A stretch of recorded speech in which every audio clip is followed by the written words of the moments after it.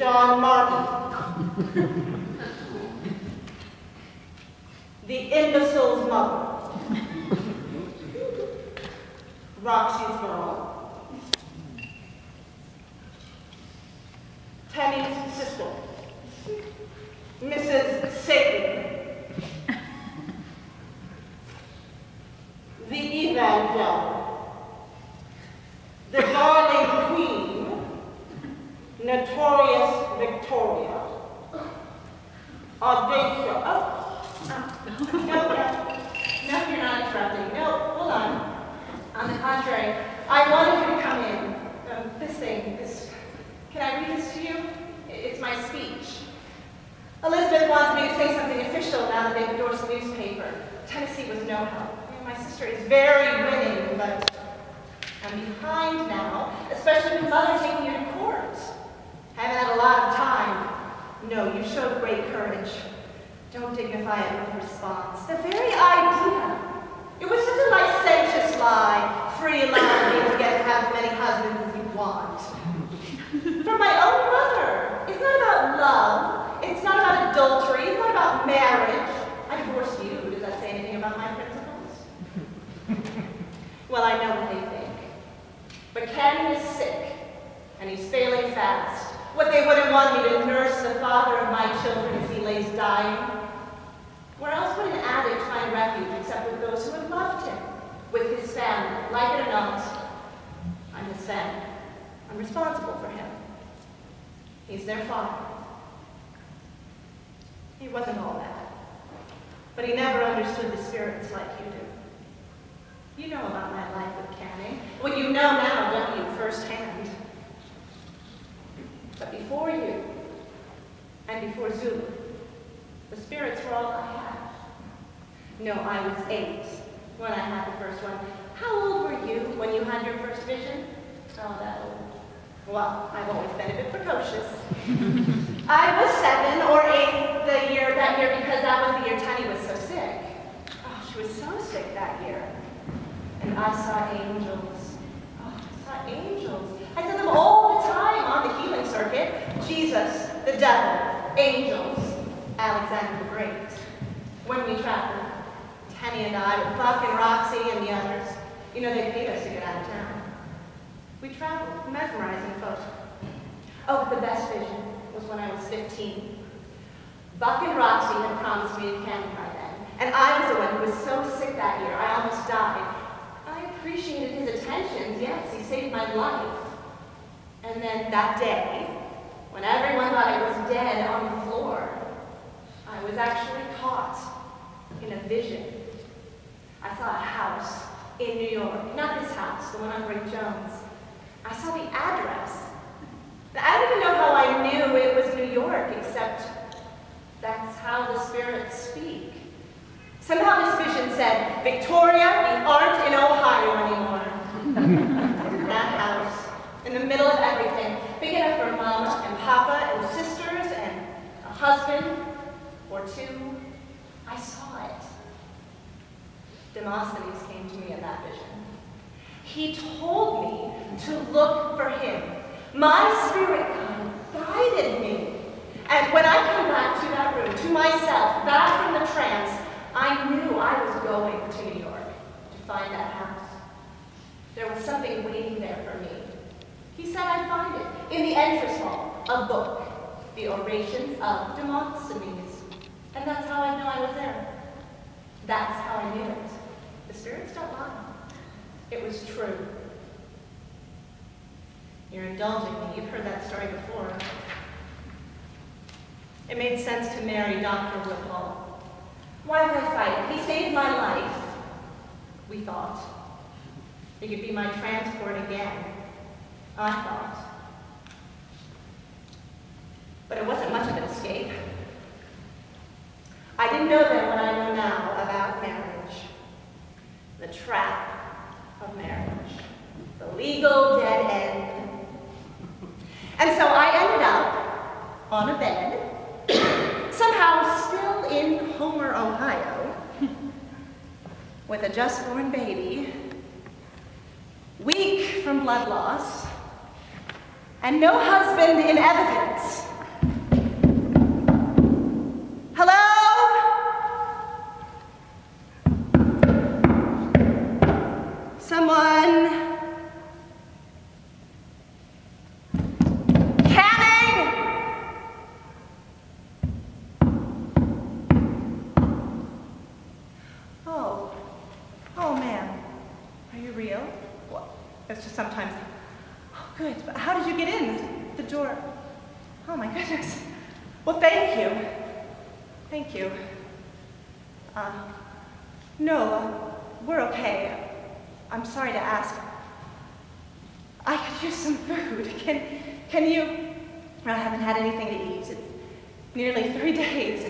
No, she's fine. There's, she's beautiful.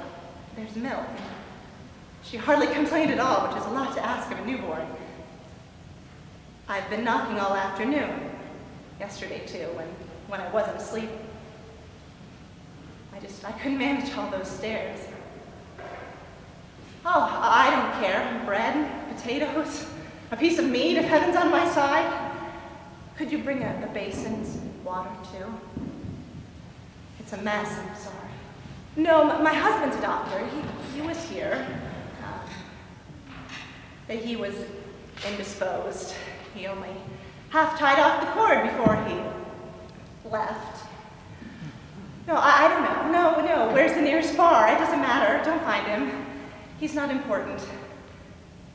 No, I'll wait. We're not going anywhere.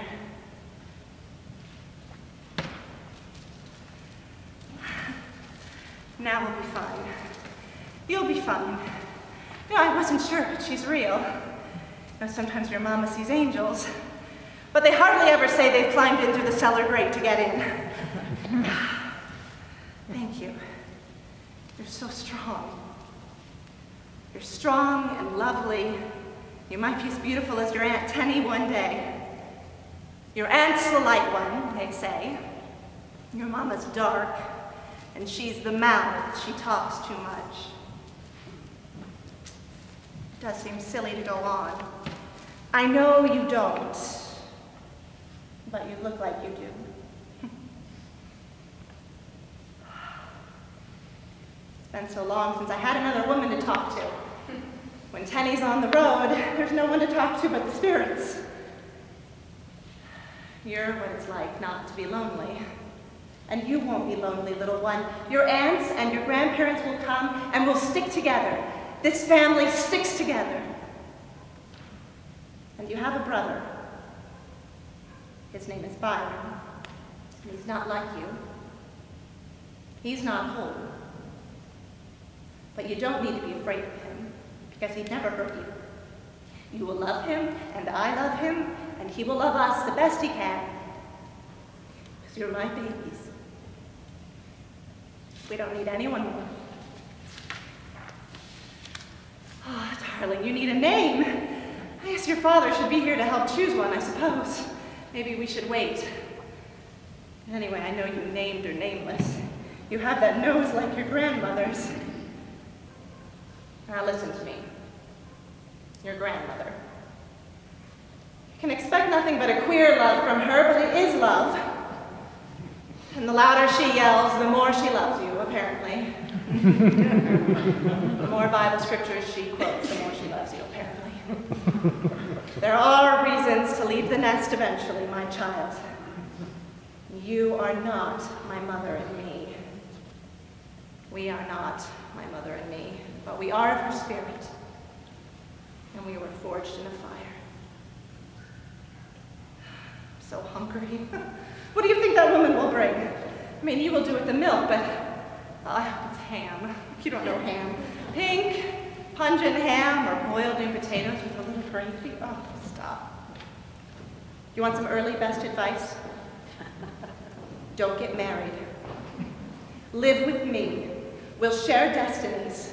I thought marriage would be my escape, but it's just another prison. More legally inescapable than any stone or steel prison. A married woman is as good as legally dead. And the man I thought was salvation addict who couldn't even stay for your entire birth. But I have you from him. I don't hate your father, nor should you. But he will be of no use to us. We must be women together and strengthen ourselves in the face of the men who will fail us. Daughter, don't listen to what they say about your mother. Little do they know, I'm a monogamist in my heart. But your generation will and should find its own lifestyle. Love and love and love. But don't give in to law. Don't let them drive you to conditions that make your soul revolt. There's no such thing as a woman's sphere. The whole sphere is ours. You look so wise to me. I can see that every spirit with me is in you now. She wants a name, and she will not wait for a meaningless man. What is it? Tell me. April, like the month? There will be colder springs. I like April. No? Roxy, like your grandmother. You have more of her sense and less of her whimsy. Well. patience, then. I'd agree with that. Three days of my pounding from this bed, and you've shown patience. Patience? No. What do they tell you your name is? My lovely primitive. Zulu. Zulu. Zulu. Zulu Zulu Maud? Really? Does Demosthenes? Well, that name's a mouthful of stones in its own right. Zulu Maud. Little Zula. Is that your choice?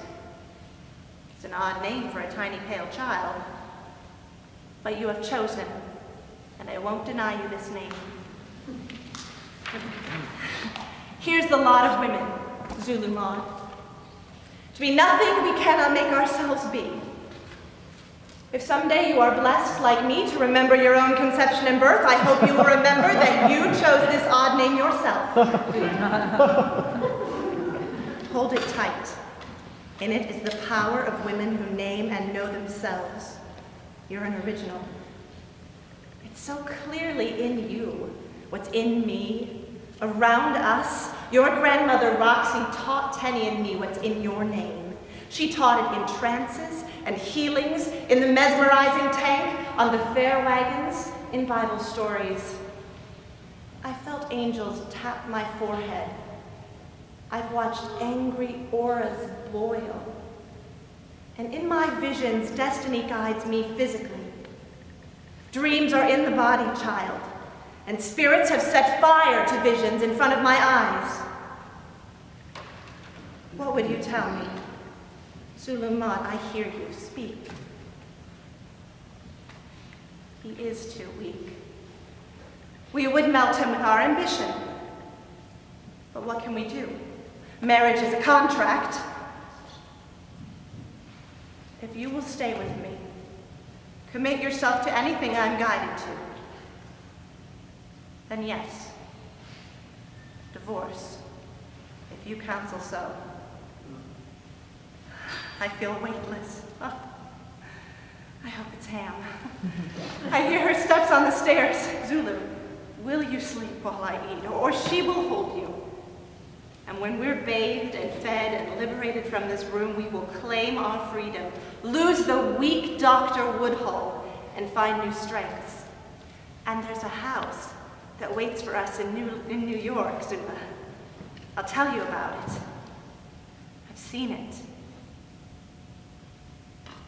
We're to be midwives to each other's souls, we women, if we let the Spirit speak. And they did, James. The house, the brokerage, meeting Vanderbilt, it worked out so well. Oh, I got sidetracked. I still want to read you what I have in the speech. You tell me what you think. And enlightened gentlemen. Because that newspaper man, Theodore Tilton, is the only one who ever comes. Well, you can come too, but I'll have to change it back to women and enlightened gentlemen. Oh, James, about Tilton. Tilton is the rival of Beecher, Henry Ward Beecher, at Pilgrim Church in Brooklyn. Yes, the one who's in the Boston crowd. No, he and Tilton run opposite newspapers, but Tilton goes to Beecher's church. And the rumor is that the fiery Beecher has had Tilton's wife since the marriage. Hmm, I haven't met her yet. Well, Theodore was disinclined to introduce me to his wife. Well, yes, she's sick. Theodore wants to write my biography. He's a poet. He fairly glows with praise. I think it would be good. It could help slough off some of the scandal. And I'll ask to meet her. I want to know more about what Beecher is up to. You know, Isabella is the only one of the Beecher sisters who he doesn't have snow. Harriet and Catherine think he can do no wrong. Well, you remember Isabella. She was here for the seance last month. No, last month was Vanderbilt again. It was two months ago. Anyway, Isabella adores me. She'll give me a brother's story. Could be just the thing to keep my issue selling in the paper. An issue. The hypocrisy of religious men is not... Well, you're the one who got me off track. Women and enlightened gentlemen in attendance, I greet you in the name of Demosthenes. Do you know who they think they'll know who that is? Oh, well, Elizabeth and Susan are intelligent enough. Okay, I'll work it out. oh, strong women. Strong women, that sounds better. Strong women and enlightened gentlemen in attendance, I greet you with the spirit, okay, of Demosthenes. Yes, I'm going to. Of Demosthenes, for it is with a mouthful of stones that I stand before you to speak. These stones are of our society's design, stumbling blocks for our free, free speech. But they will, I hope, oh, serve to train my words to conquer adversity. Too often, women, we have been treated like persons with speech impediments. I know that sounds odd. I hear it. Well, I want to get Demosthenes. What if they don't know who he is? I'm just going to add it back in later. Fine. Oh, what now? Does that sound like breaking glass to you? Zula, go check on your father. Only interrupt me if he's dead. and keep your Aunt Utica away from the liquor cabinet if that's what it is. You know, Utica booed me at my last speech. My own sister! I was horrified. No, I stood up for myself, but can you imagine? My own sister. Yes, I am lover, I shouted, and realized I was shouting at my sister, my own portable drunken heckler. you know, thank the heavens she wasn't there when I went before Congress. It's true. You'd think after speaking in front of that committee, this speech would be just for a bunch of suffragists and it would be simpler. And my stage fright's better now, but that was the beast of Butler's. That was Butler's speech for Congress. He wrote it. Elizabeth and Susan trusted me after that. That's why they invited me, but I need to trust myself. Make myself a veteran. Been a vessel all my life. For Roxy and Buck. For the people we healed. For the spirits and seance. Some of this content must be my own. It's important to me that things come out when I open my mouth, you know? Why is it so hard to write this speech? No, I don't want any more written for me, thanks. Before Congress, I remember how I shook, waiting to go before the committee. I was so frightened that day. Oh, Mrs. Cady Stanton. Miss Anthony, it's so good to see you. Thank you for delaying your meeting to be here. Did Did you meet Mr. Benjamin Butler, the gentleman from Massachusetts? He paved my way to Washington. He's inside the chamber. He's one of my sister Tennessee's friends. He helped us on the newspaper. You've heard of it, Mrs. Anthony? Susan. It's Woodhull and Claflin's Weekly. That's my sister Tennessee. She's still a Claflin. Mrs. Stanton, Elizabeth, you and your colleague here have a paper too now, don't you? I think your revolution is much better than Lucy Stone's Women's Journal in Boston. Well, they're under the thumb of their business manager, and I know that Henry Blackwell too well. He was very rude to Tenny and me when we mentioned opening our firm on Wall Street. Well, no, we were green, but it was certainly more than a feminine whim. And we had very powerful backing. I think we've proven. No, we actually were the first women to. And the paper, too, they both do very well. I think the fact that we don't write only for women, but for the discerning public is the strength of our paper. Excuse me? Yes, Butler got me here today. Well, it's, it's more than just appearances. I am terrified. Mr. Butler wrote most of my speech for me, yes, but I think it's fine. Don't you think all this talk of women's rights is moonshine? Women have every right. We already have the right to vote. The law doesn't specifically exclude women. We just need to use it. Surely they'll see that. Well, it wasn't that hard to arrange an invitation. I went at night and asked him to open the committee for me. And he did. So it looks as though I got the leftovers, only eight congressmen showed up. No, but meeting you, knowing you cut your convention short to come see me, well, it does help. I'll borrow some of your courage, if I may. Your struggle for suffrage, it's such an inspiration. I've been tossed out of a few polling places myself, and I wish I'd been at Seneca Falls. I was only 10. If I'm going to continue to fight, I will accept every help that is offered. So thank you. I know I must go up there now and hope in my own mouth, and the language is all very formal and decided and set, but something is going to have to speak through these stones.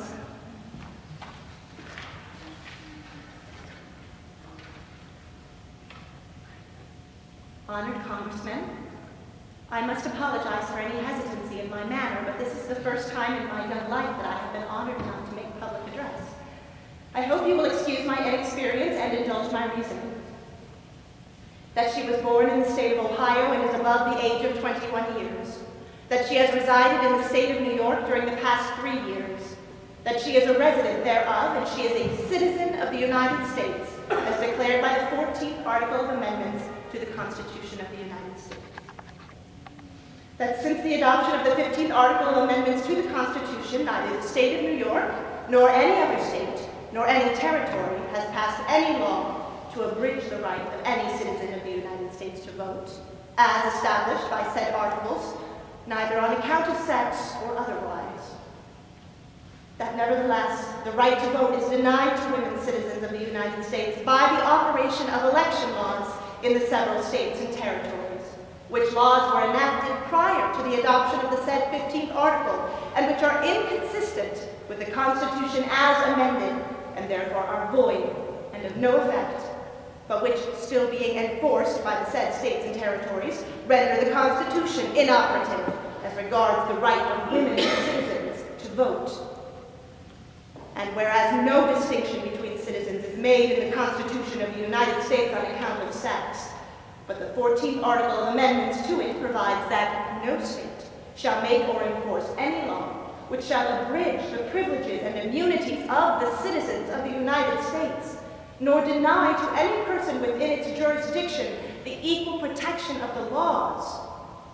And whereas the continuance of the enforcement of said local election laws, denying and abridging the rights of citizens to vote on account of sex, is a grievance to your memorialists and to various other persons, citizens of the United States, being women. Therefore, your memorialists would most respectfully petition your honorable bodies to make such laws as in the wisdom of Congress shall be necessary and proper for carrying to execution the right vested by the Constitution to the citizens of the United States to vote without regard to sex and your memorialist will ever pray, Victoria C. Woodhull, New York City, December 19, 1870. The bastards. I will not. You're lucky I didn't swear off all men forever. The House Majority Leader, Congressman Bingham, he said to me, Madam, you are not a citizen. Those men. We tighten the ranks, that's all. I will go back to Congress. And I don't need anyone there tomorrow but my brave women. And they don't need a man write my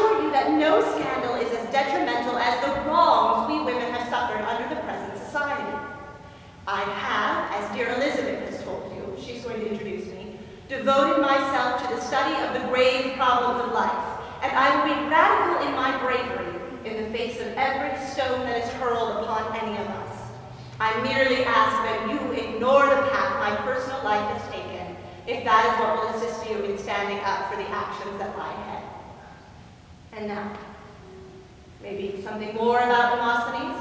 Tug their intellect. Keep them from rejecting it too easily. Well, I'm not going to hold off on him forever. Be reasonable, James. I have to include him. Will you insult your spirit guide by refusing to tell their stories in public address? I am not parading him about. As a matter of fact, Josephine and Bonaparte seem a little jealous of how easily metaphoric Demosthenes is turning out to be. If anything, I should be. No, I know it's not a seance. Leave me alone. No, don't stop. Don't leave. Don't stop interrupting. Sisters and brothers, and sometimes husbands. I've got the next bit. This gathering before me is my family. As you have accepted me through our leaders, Elizabeth and Susan, I shall call you my equals.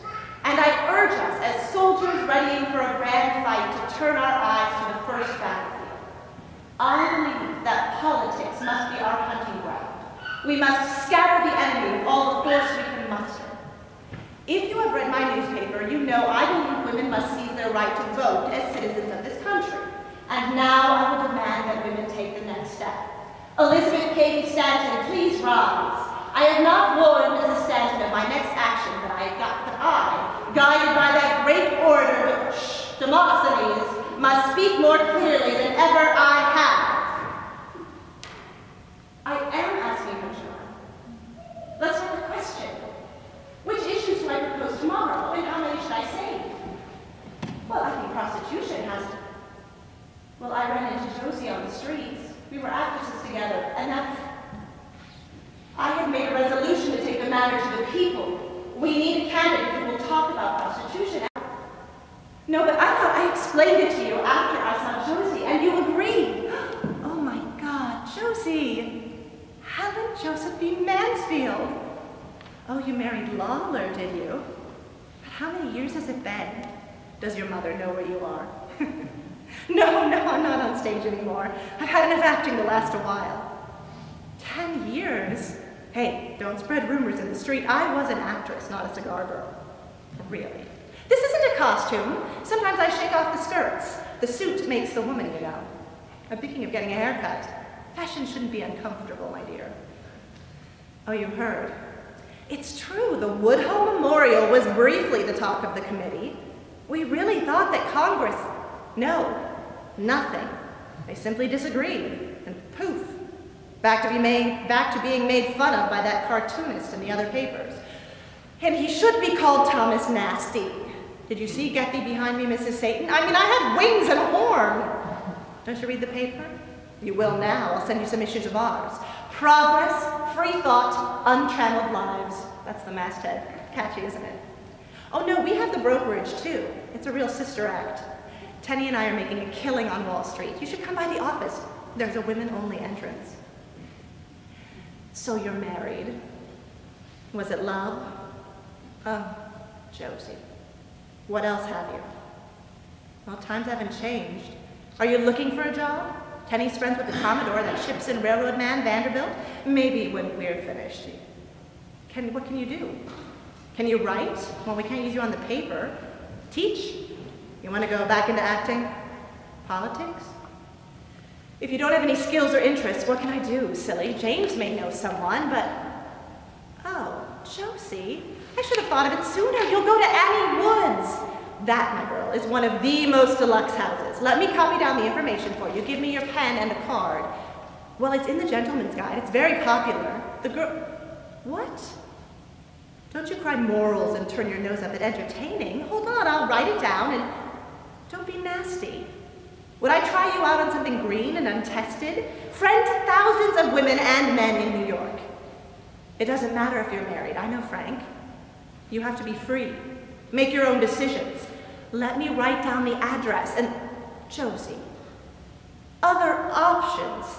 What do women do in this town? Run boarding houses. Oh, you can make hats, unless you made the one on your head. It's hideous.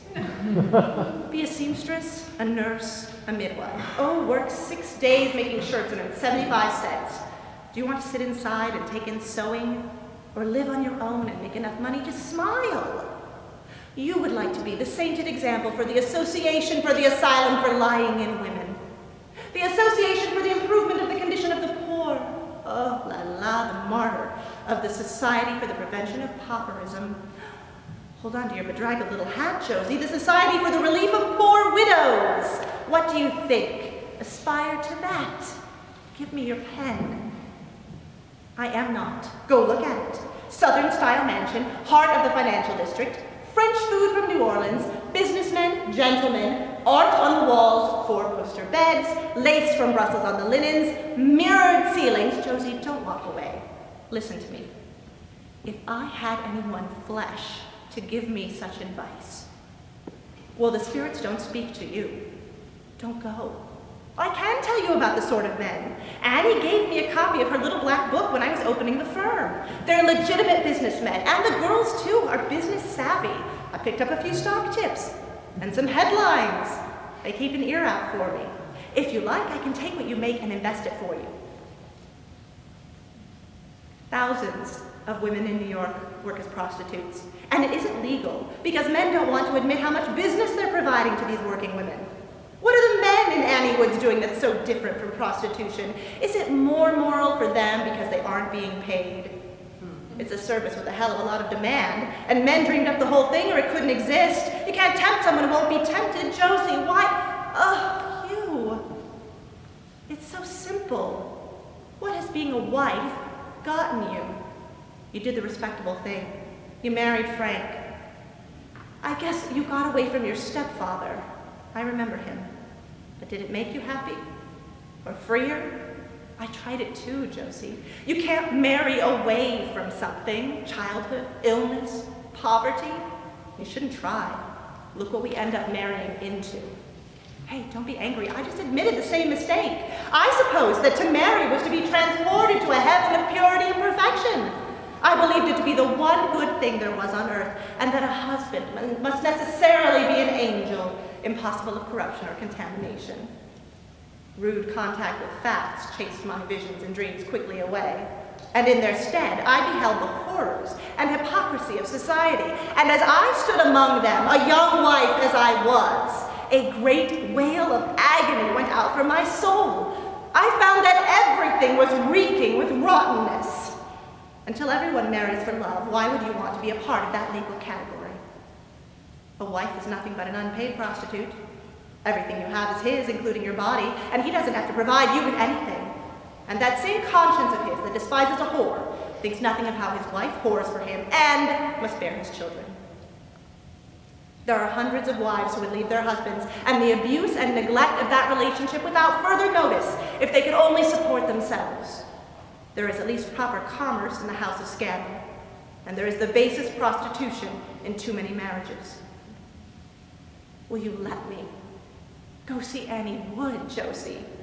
And if any man dares abhor you, saying you are a woman of ill repute, or should be condemned for your choice, you tell him that until his fellow men stop excusing the straying male while booing his body consort, there can be no justice.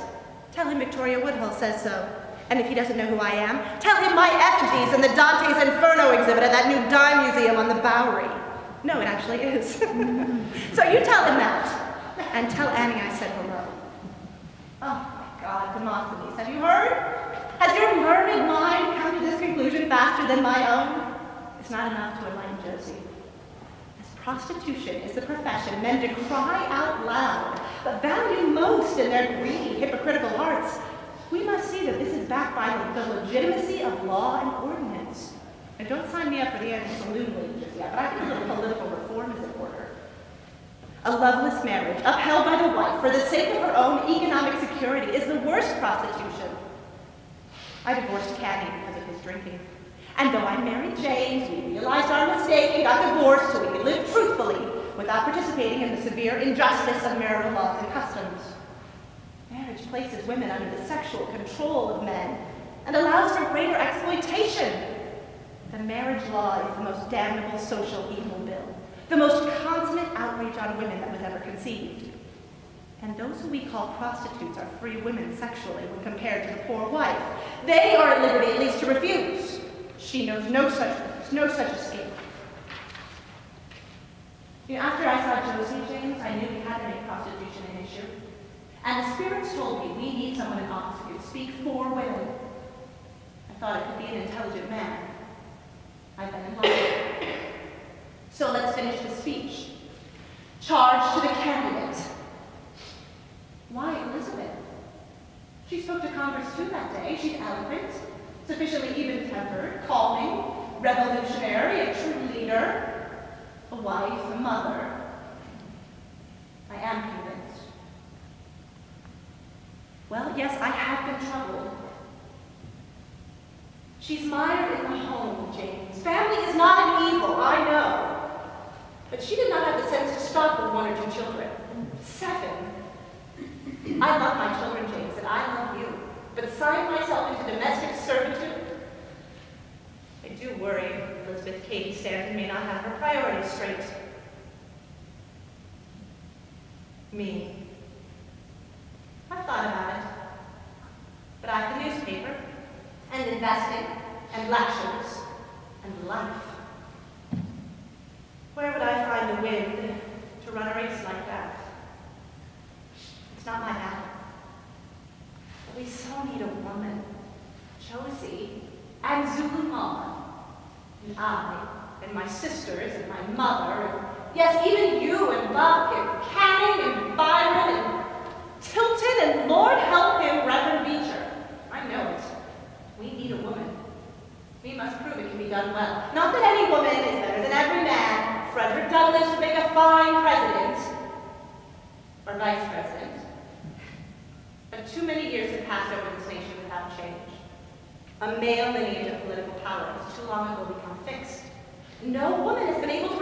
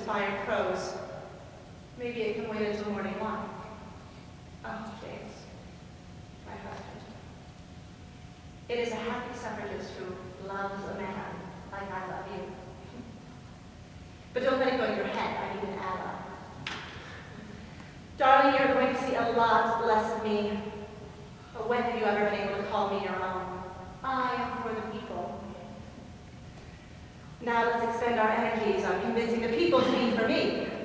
Well, I can spare a few energies. Let me tuck Zula in and I'll be right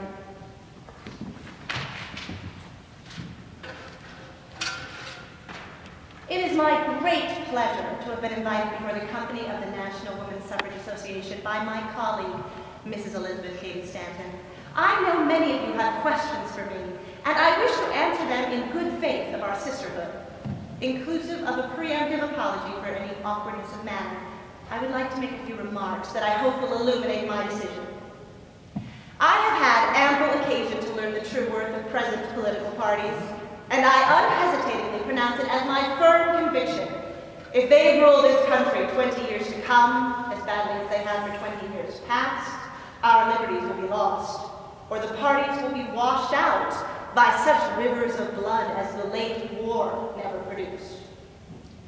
Therefore, it is my conviction, arrived at after the most serious and careful consideration, that it will be equally suicidal for the women suffragists to attach themselves to either of these parties. I do not assume to speak for anyone. I know I speak in direct opposition to the wishes of many by whom I'm surrounded. Nevertheless, I should fail to do my duty did I conceal what I feel to be the true interests of my sex, and through them, those of humanity. Because I have taken this bold and decisive position, because I have advocated radical political action, because I have announced a new party, and myself as candidate for the next presidency, I am being charged with being influenced by an unwarrantable ambition. Though this is scarcely the place for the introduction of a privileged question, I will, however, take this occasion to once and for all time state I have no personal ambition whatever. All that I have done, I did because I believed the interests of humanity would be advanced thereby. Had I been ambitious to become the next president, I should have proceeded very differently to accomplish it. I did announce myself as candidate, and this simple fact has done great work in compelling people to ask, and why not? This service I have rendered women at the expense of any ambition I might have had, which is apparent if the matter be but carefully considered. I and others of my sex find ourselves controlled by a form of government in the inauguration of which we had no voice, and in whose administration we are denied the right to participate though we are a large part of this country. I am subject, subject to tyranny. I am taxed in every conceivable way. For publishing a paper, I must pay. For engaging in the banking and brokerage business, I must pay. Of what is my fortune to acquire each year, I must turn over a certain percent. I pay high prices for tea, coffee, and sugar.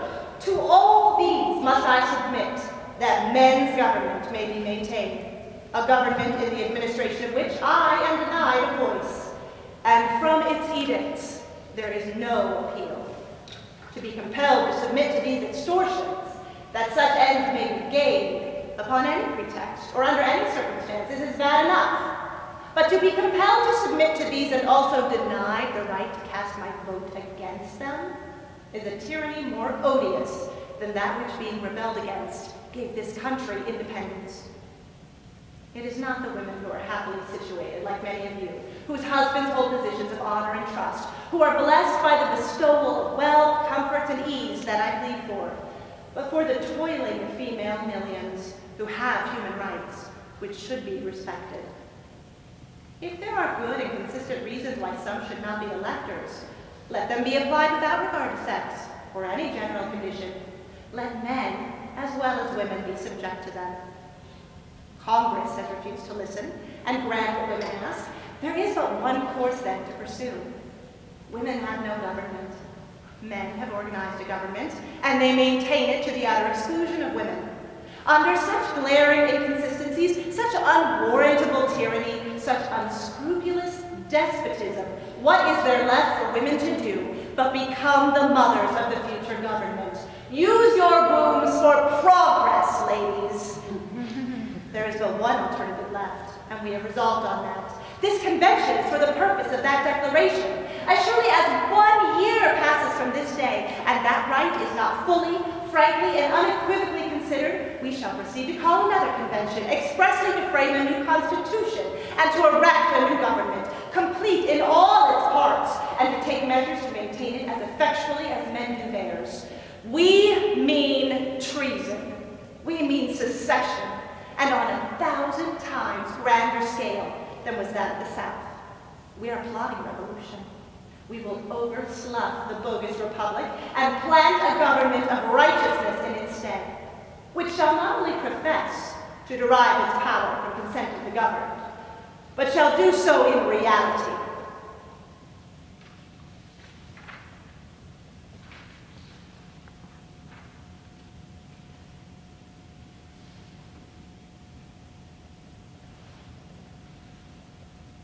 James?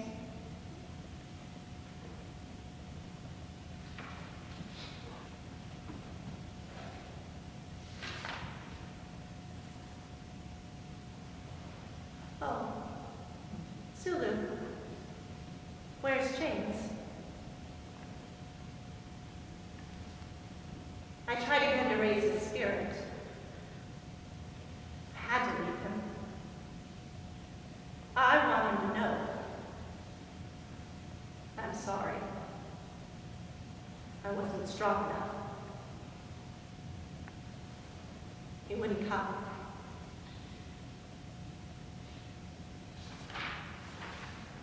Take this away.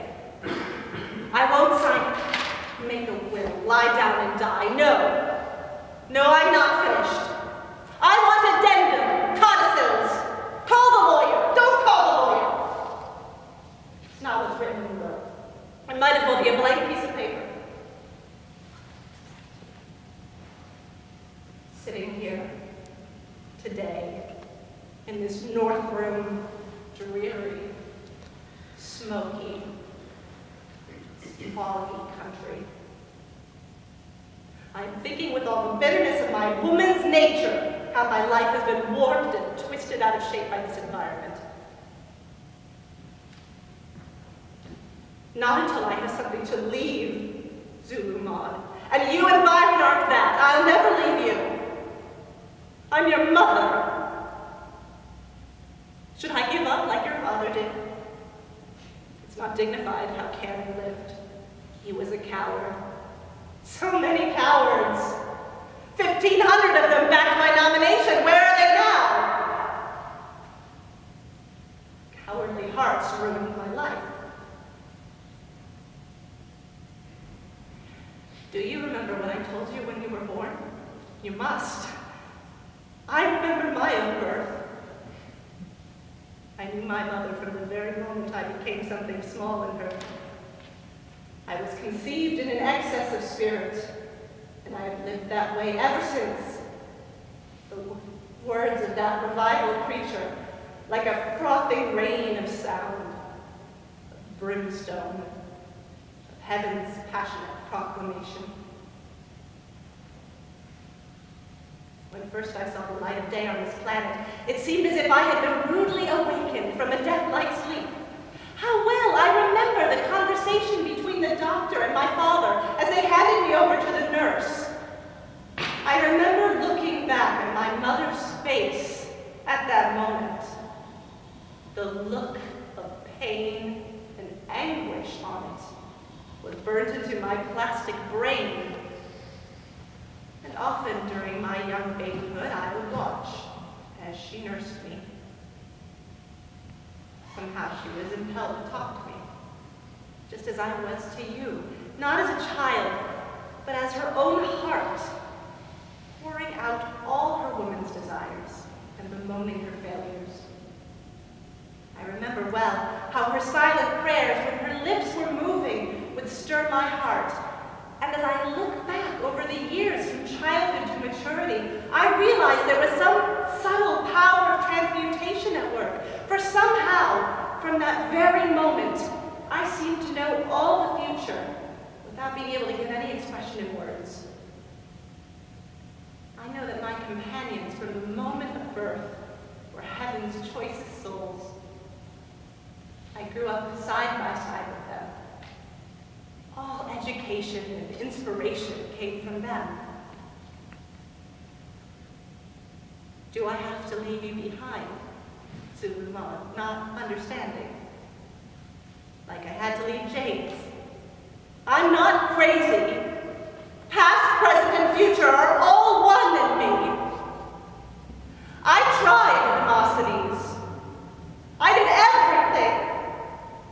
Made money, wrote articles, gave lectures, bedded and begged. What came of all that jail time, all that scandal? I spent election day in the Ludlow Street jail, a presidential candidate for what? For my crimes of journalism called pornography, to make me into a precedent. And was Henry Beecher any worse off? His dishonest affairs, his abuse of power reported by me to people who wanted to know, and mine was the biggest crime. Did he pay, really? He kept his church, his reputation barely tarnished, his family.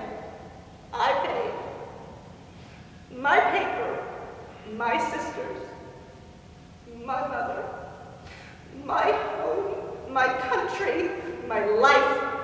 I don't regret, but I don't understand. No, I do regret. I regret that James paid, that I had to leave him behind to get away from myself. I regret that you paid. I'm so sorry. No child should have to go to school under a false name to avoid harassment because of her infamous mother. I'm sorry.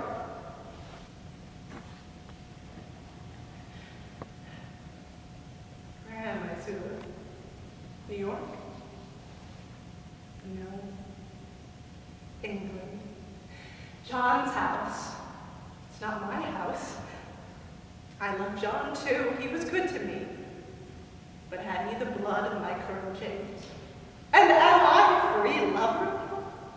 I had my chances at love. It was beautiful. It was never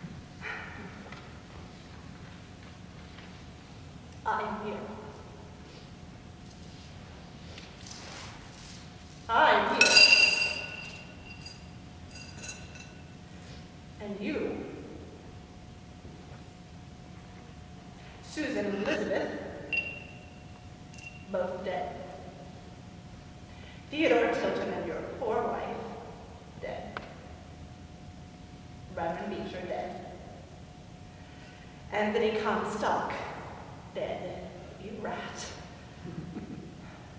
The Commodore, dead. Grant, dead. I beat you yet, Mr. President. Frederick Douglass, who wouldn't even acknowledge our run, dead. My John, Lucy Stone, James. Tammy, Mama. Oh, their meaning simple. They laughed at the order of Demosthenes, my guy, before he was famous, or infamous, or dead. He was born with a speech impediment, but he could think. He practiced speaking with pebbles in his mouth, spoke through stones until he tasted his blood, shut himself in a cave. He shaved half his head so that he would look so odd he would not be able to give up and leave and return to society.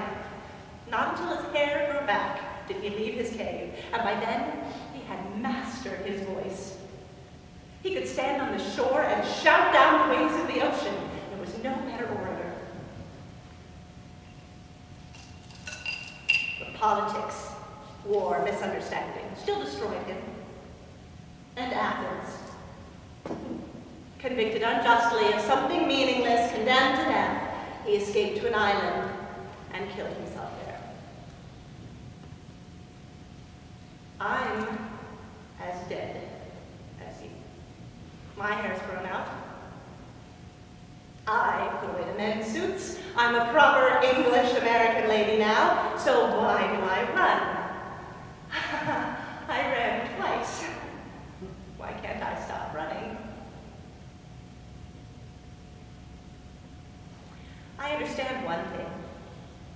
The last enemy to be destroyed is death. But if I make death my enemy, I cannot win. If I am not ready to go, then the end will defeat me. It has been like that. So take note, Zula. Call the lawyer then. When I embark my ashes by loving hands, I wish thrown into the sea. I do not want the world to annoy my child. They have never understood her. Byron Woodhull, now 68 years old, shall be placed with some private family where he will be treated with kindness, and my trustees shall make such other arrangements for his comfort and happiness as they shall see fit. For Zula Maud, I leave my fortune of 181,722 pounds and an ugly little bowl of pebbles. Any remaining monies from sale of properties or holdings are to be left to the Society for Psychical Research in the hopes that they will fondly remember their former and loyal president, keeping her spirit alive in this way. Now, which name do I summon? Oh, don't look at me like that. It's my own joke. Victoria Woodhull will do just fine.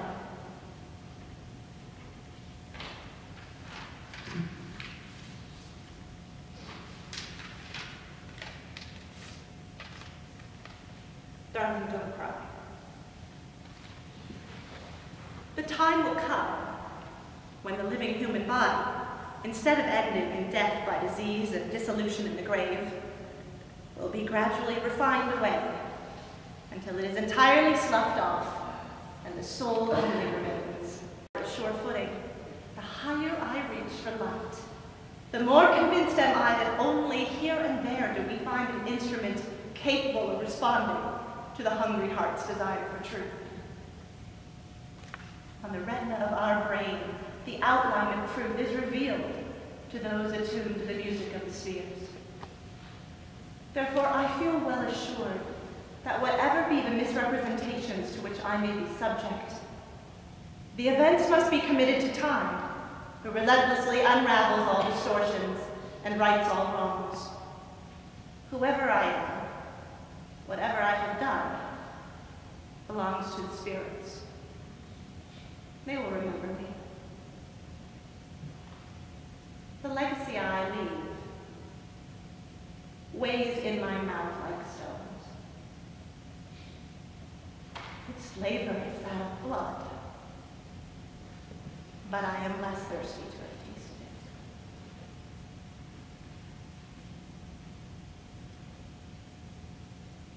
it. It